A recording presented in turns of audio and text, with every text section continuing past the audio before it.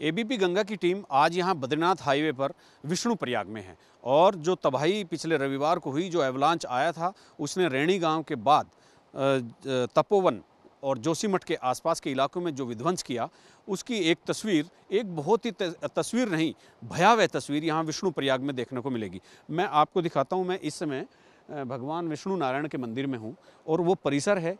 और यहाँ मैं आपको कुछ ऐसी चीज़ें दिखाऊँगा, जब मलबा गर्भगृह तक चला गया है। ये भगवान विष्णु नारायण का मंदिर है और इस मंदिर में ये घंटी देखिए, इस पर भी निशान है कीचड़ के। आप यहाँ नीचे आइए, ये गर्भगृह है। इस गर्भगृह में अंदर तक, जहाँ भगवान विष्णु की मूर्ति रखी है, वहाँ तक पूरा कीचड़ चला गया है।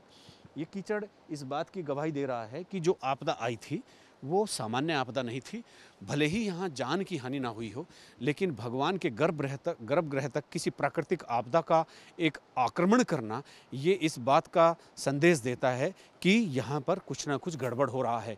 हिमालय की कंदराओं में जो भूगर्भीय संरचनाएँ हैं, उनमें कुछ ना कुछ तब्दीली हो रही है। अब मैं दूसरी चीज़ आपको दिखाता हूँ। ये ध्यान योग केंद्र था विष्णु प्रयाग का। आप ये देखिए, इसकी दीवारें टूट गई हैं। इसके नीचे मलबा है। और यहाँ हम ये इसके शीशे ऊपर तक आप देख सकते हैं किस तरह से चटक गए हैं और शीशे चटके और इसका स्ट्रक्चर पूरा टूट गया और ये एक तरह से धोली गंगा की तरफ़ लटक गया है। ये ये एक अपनी जुबानी, अपनी कहानी जैसा एक माहौल यहाँ बन गया है। ये निशान खुद ही एक कहानी बता रहे हैं उस तबाही की जो हुई है, उस एवलॉन्च की जिसने ये तबाही की है। एक चीज़ मैं आपको और दिखाता हूँ। ये देखिएगा, काफ़ी ख़तरनाक है। और यहाँ चूँकि नुकसान इतना हुआ है कि जान माल की हानि हो सकती है। आप आप नदी की गहराई देखिए। आप अगर नदी की गहराई देखेंगे तो ये नदी की गहराई देखकर आपको अंदाज़ा लग जाए, ये धोली गंगा है। थोड़ा सा आगे, सौ मीटर आगे जाकर ये अलकनंदा में मिल जाती है। अब जैसे नदी के बहाव के साथ आप इधर आते हैं जहाँ मैं खड़ा हूँ तो यहाँ आप देखेंगे कि मैं कोशिश करता हूँ, थोड़ा जोखिम है तो ये हिल रहा है।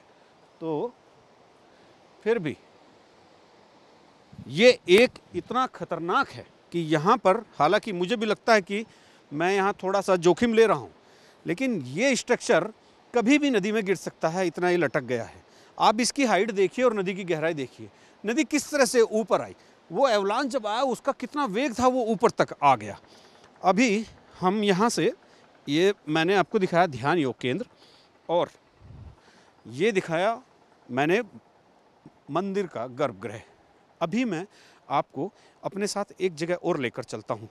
आप मेरे साथ चलिए क्योंकि ये तबाही जो हुई है, ये सामान्य नहीं है, और जिस तरह से ये हुई है, वो एक इशारा करती है कि जो मानव जनित जो चीज़ें हैं, वो यहाँ पर तबाह करने के लिए काफ़ी हैं क्योंकि अब जो प्राणी है, जो मानव है, उसको थोड़ा सा इस बात के लिए समझना पड़ेगा। अब ये इधर हम आते हैं तो ये जो एक है ये ये तीन मंदिर यहाँ हैं। ये तीन मंदिर हैं और ये ये इधर दो मंदिर ये हो गए, एक ये हो गया। इसके गर्भगृह में मलबा देखिए। ये भगवान केदार का मंदिर है, जो यहाँ बनाया गया है। ये नंदी की मूर्ति है, ये नंदी है, और वो भगवान केदार का त्रिशूल है। तो विष्णु प्रयाग में, जहाँ जो विष्णु धाम है, वहाँ पर केदार भगवान का भी एक ये छोटा मंदिर, यहाँ इस बात का प्रतीक है कि भगवान केदार जो है, यहाँ भी विराजमान है। वैसे तो वो सर्वव्यापी हैं, सभी जगह विराजमान हैं। भगवान विष्णु भी सभी जगह विराजमान है। लेकिन इनके गर्भगृह को आप थोड़ा ठीक से देखिए। कीचड़ अंदर तक चला गया। केदारनाथ मंदिर में भी कीचड़ अंदर चला गया था गर्भगृह में और यहाँ भी भगवान केदार की मूर्ति तक ये कीचड़ जा पहुँचा। अब ये इधर, अब मैं इधर आपको दिखाता हूँ। ये कीचड़ देखिए ये मलबा करीब नदी से सौ फीट ऊपर है। और 100 फीट नहीं, मैं कहूँगा 200 फीट ऊपर है। और मैं अपने सहयोगी कैमरामैन प्रमोद वाजपेयी से कहूँगा कि ज़रा नदी की गहराई इधर दिखाए।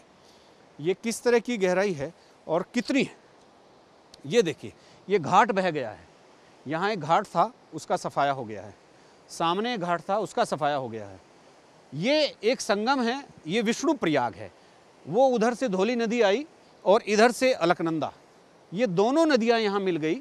और दोनों के मिलने के बाद ये यहाँ से जहाँ दोनों संगम हो रहा है, यहाँ से एक अलग अलकनंदा ही रह गई और धोली गंगा का अस्तित्व यहाँ पर समाप्त हो गया है। तो मैं ये तबाही के निशान यहाँ इसलिए दिखा रहा हूँ कि जब भगवान के मंदिर के भीतर तक मलबा जा सकता है और बहुत सारी चीज़ें मतलब ऐसा हुआ है कि जैसे आपदा ने अतिक्रमण नहीं, आक्रमण किया हो वो अतिक्रमण नहीं कर रही थी, वो आक्रमण कर रही थी।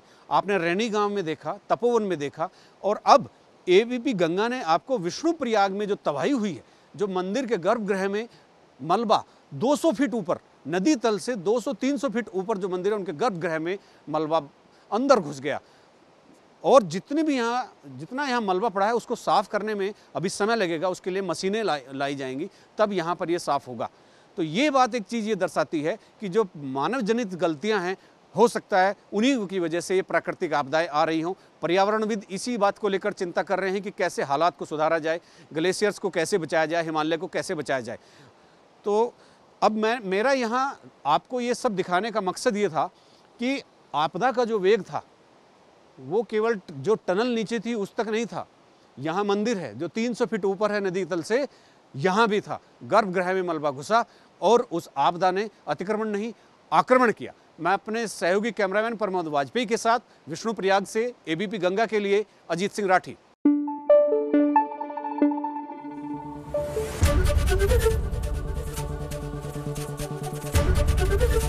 एबीपी गंगा, खबर आपकी जुबा आपकी।